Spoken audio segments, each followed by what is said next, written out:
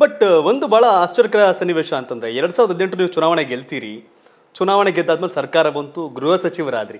ಈ soft nature Araga Jnanendra ಅವ್ರಿಗೆ ಈ ಗತ್ತಾಗಿರೋ ಗೃಹ ಸಚಿವ ಖಾತೆ ಯಾವ ಥರ ಹೋಗ್ತು ಏನು ಕತೆ ಏನು ಸಮಾಚಾರ?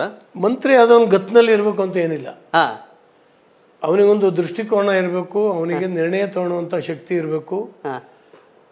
ನಿರ್ಣಯ ಕೊಡುವಂಥ ಶಕ್ತಿ ಇರಬೇಕು ಇದಿರಬೇಕು ಅಷ್ಟೇ ಹೊರತು. ಗತ್ತು ಗೈರತ್ತುಗಳು ಬೇರೆನೆ ಅದೊಂದು ಬೇರೆನೆ ಭಾಗ. ಅದು ಆಡಳಿತಕ್ಕೆ ಅವಶ್ಯಕತೆ ಇಲ್ಲ ಅಂತ. ನನಗೆ ಅನ್ಸುತ್ತೆ. ಬಟ್ ಸ್ಟಾರ್ಟಿಂಗ್ ಡೇಸ್ ಅಲ್ಲಿ ಒಂದ್ ಸ್ವಲ್ಪ ಯಾಕೋ ಆರಂಭದಲ್ಲಿ ನಾನು ಸರಿಯಾಗೇ ಮಾತಾಡಿದ್ರು ನೀವು ಮೀಡಿಯಾದವ್ರು ಯಾಕೋ? ಯಾಕೋ ನಮ್ಮ ಹತ್ರನೇ ಬರ್ತೀರಪ್ಪ ನೀವು? ಅಲ್ಲಲ್ಲ ಏನಂದ್ರೆ ಉದಾಹರಣೆ ಮೈಸೂರಿನಲ್ಲಿ ಅತ್ಯಾಚಾರ ಪ್ರಕರಣ ಆಯ್ತು. ಓಕೆ ಆ ಮೈಸೂರಿನಲ್ಲಿರುವಂಥ ಮಹಿಳಾ ಅಧ್ಯಕ್ಷರು ಯಾರು? ಮಹಿಳಾ ಆಯೋಗದ ಅಧ್ಯಕ್ಷರು. ಹೆಣ್ಮಗಳು ರಾತ್ರಿ ಒಂಬತ್ತು ಗಂಟೆನಲ್ಲಿ ಆ ಕಾಡಿಗೆ ಯಾಕೆ ಹೋಗ್ಬೇಕಾಗಿತ್ತು ಅಂತ ಹೇಳಿದ್ರು. ಇಲ್ಲಿ ಕ್ಯಾಮ್ರಾ ತಗೊಂಡ್ ಬಂದು ನನ್ನ ಹತ್ರ ಕೇಳಿದ್ರು ಅವ್ರು ಹಂಗೆ ಹೇಳಿದ್ದಾರೆ ನೀವೇನಂತೀರಿ ಅಂತ. ನಾನು ಹೇಳಿದೆ ನಂದು ಹಾಗೇನೆ. ಅಷ್ಟೊತ್ತಿಗೆ ಹೋಗಬಾರ್ದಾಗಿತ್ತು ಒಬ್ಬ ಹೆಣ್ಮಗಳು. ನಿರ್ಜನ ಪ್ರದೇಶ ಅದು ಅಂತ ಹೇಳಿ ಹೇಳಿದೆ. ಓಕೆ. ಅಷ್ಟಕ್ಕೆ ಹಾಕೊಂಡು ಎರಡು ಮೂರು ದಿವಸ ನಾನು ಚೆಚ್ ಹಾಕ್ಬಿಟ್ರು. ಆಗ ಒಂಥರ ಈ ನನ್ನ ಅತ್ಯಂತ ಆತ್ಮೀಯರು ಹೇಳಿದ್ರು ಇವನಿಗೆ ಹಾಕ್ಬೇಕಾಗಿತ್ತು ಈ ಖಾತೆ? ಅಂತ. ಬಹಳ ಬೇಜಾರಿನಿಂದ ಹೇಳಿದ್ರು. ಓಕೆ. ನಾನು ತುಂಬ ಜನ ಆಮೇಲೆ ಕೇಳಿದೆ ನಾನು. ನಾನು ಆಮೇಲೆ ಆ ವರ್ಡ್ ವಿತರಣೆ ಮಾಡ್ಕೊಳ್ತೀನಿ ಏನಾದ್ರು ಇದಾಗೋದು ಇದಾಗೋದ್ರಿಂದ ತಪ್ಪಾಗೋದಂದ್ರೆ ನಾನು ನಿಲ್ಸ್ಬೇಕಾಗಿತ್ತು. ನಿಲ್ಲಿಸ್ಬೇಕಾಗಿತ್ತು ಅದನ್ನ ಮೀಡಿಯಾದ ದಾಳಿ. ಅದು ನನಗೆ ತಡ್ಕೊಳಕ್ಕಾಗ್ತಿರ್ಲಿಲ್ಲ. ಆಮೇಲೆ ಅನೇಕರನ್ನ ಕರೆದು ಕೇಳಿದೆ ನಿಮ್ಮ ಮೀಡಿಯಾದವ್ರನ್ನೇ ಕರೆದು ಕೇಳಿದೆ. ನನಗೆ ದಯವಿಟ್ಟು ಹೇಳಿ ನಾನು ಹೇಳಿದ್ರಲ್ಲಿ ಏನು ತಪ್ಪಿದೆ ಅಂತ. ನಾನು ನನಗೆ ಆ ವಯಸ್ಸಿನ ಮಗಳಿದ್ದಾಳೆ ಅವಳು. ಹ್ಮ್. ನಾನು ತಂದೆಯ ಸ್ಥಾನದಲ್ಲಿ ನಿಂತು ಹೇಳಿದ್ದೀನಿ. ಹೆಣ್ಮಕ್ಳು ಹೋಗಬಾರ್ದು ಅಂತ.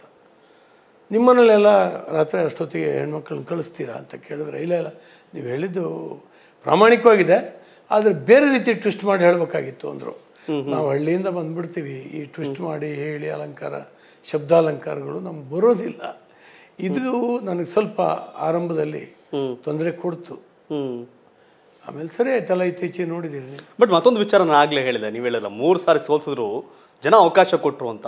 ಬಟ್ ಅವತ್ತಿನ ಚುನಾವಣೆ ಸಾವಿರ ಲೆಕ್ಕದಲ್ಲಿ ಐ ಥಿಂಕ್ ನಿಮ್ಮ ಮೊದಲ ಚುನಾವಣೆಗೆ ಎಷ್ಟು ಖರ್ಚಾಗುತ್ತೆ? ಇವತ್ತಿನ ಲೆಕ್ಕಾಚಾರ ಹೇಗಿದೆ? ಚುನಾವಣೆ ಬರೀ ಹಣ ಸುರಿಬೇಕು ಎರಚಬೇಕು ಕೋಟಿಗಟ್ಟಲೆ ಅಂತಾರಲ್ಲ? ಎಂಬತ್ಮೂರರಲ್ಲಿ ಐವತ್ಮೂರು ಸಾವಿರ ರೂಪಾಯಿ ಖರ್ಚಾಗಿತ್ತು.